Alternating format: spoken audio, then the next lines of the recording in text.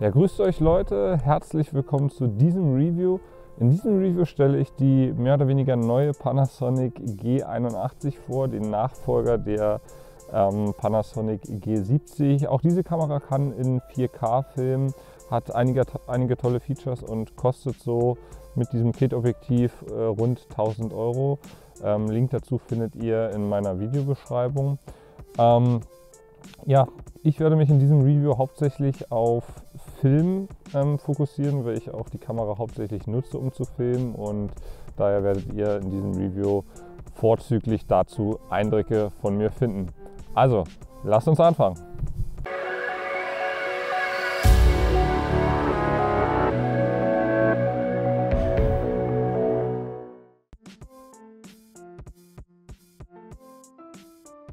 Design ist ja immer Geschmackssache, aber das kompakte, kantige Design gefällt mir persönlich ausgesprochen gut. Bislang ist die G81 nur in schwarz erhältlich, den Vorgänger G70 gab es auch noch in grau. Die Verarbeitung der G81 ist super. Durch die Magnesiumlegierung ist sie wie die GH4 staub- und Spritzwasser geschützt. Das kommt auch dem Handling zugute, die Kamera fühlt sich toll an und alle Knöpfe haben einen tollen Druckpunkt und sind gut verarbeitet. Toll ist auch das schwenkbare Display, das besonders für Filmer top ist. An der Seite befinden sich Anschlüsse für Monitore sowie USB und Mikrofon. Ein Anschluss für Kopfhörer fehlt hingegen. Auf der Unterseite gibt es das Batteriefach und an der anderen Seite den SD-Kartenschacht.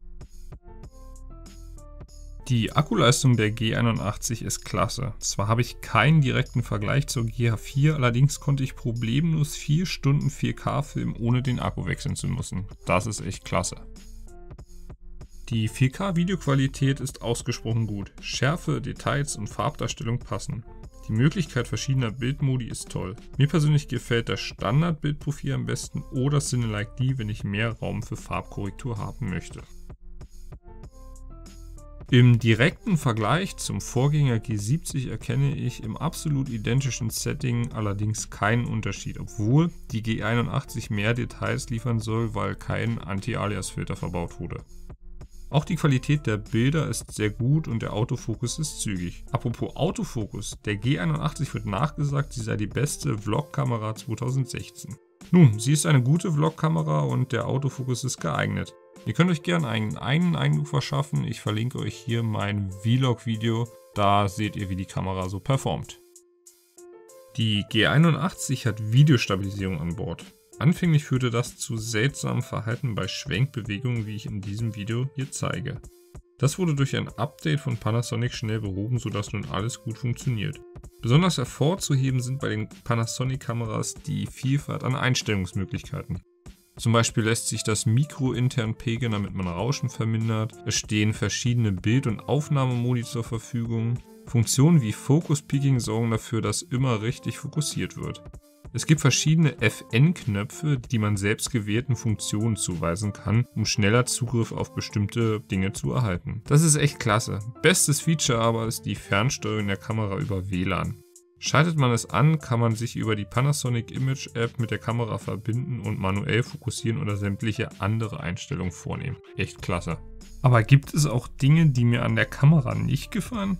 Ja, das dauerhafte Rauschgeräusch der Kamera ist echt nervig und der Vorgänger G70 hatte das nicht. Hier mal ein Beispiel.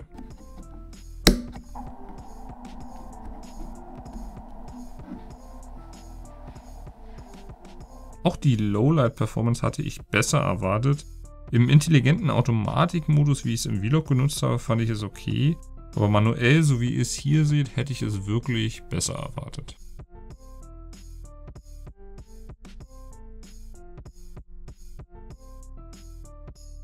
Die Panasonic G81 kostet mit der 12 bis 60 mm Kit Lens rund 1000 Euro.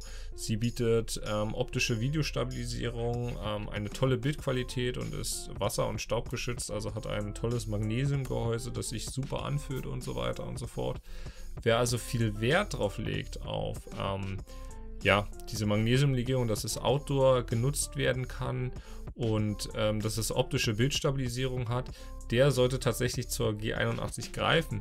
Wer allerdings die gleichen Features haben möchte, wie zum Beispiel diese unheimliche Vielzahl an Einstellungsmöglichkeiten ähm, und ja, die gleiche oder fast gleiche Bildqualität. Der ist auch sehr gut beraten mit dem Vorgänger der G70, die zurzeit rund 300 Euro weniger kostet und aber fast die gleichen Features bietet, bis auf äh, optische Bildstabilisierung hat es nicht und ähm, hat halt auch keine ähm, ja, kein wasserfestes Gehäuse. Aber die Einstellungsmöglichkeiten und alles so weiter ist genau das gleiche wie bei der G81. Und Panasonic sagt eben, dass die G81 ein bisschen besseres Bild hat, wie ich schon gesagt habe, durch ähm, dadurch, dass kein Anti-Alias-Filter verwendet wurde, der Mori verhindern soll. Aber im direkten Vergleich habe ich da persönlich keinen Unterschied gesehen. Ihr könnt euch da natürlich auch, wenn ihr zurückskippt, nochmal ein eigenes Bild machen. Ja, an dieser Stelle soll es das gewesen sein. Ich packe euch natürlich den Link zu beiden Kameras äh, unten in die Videobeschreibung.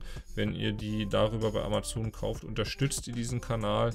Ähm, ihr zahlt dadurch nicht mehr, nur mein Kanal wird dadurch eben unterstützt. Ja, das soll es gewesen sein an dieser Stelle. Falls es euch gefallen hat, dann lasst mir ein Like oder auch ein Abo da und ähm, abonniert auch gerne äh, meine anderen Kanäle.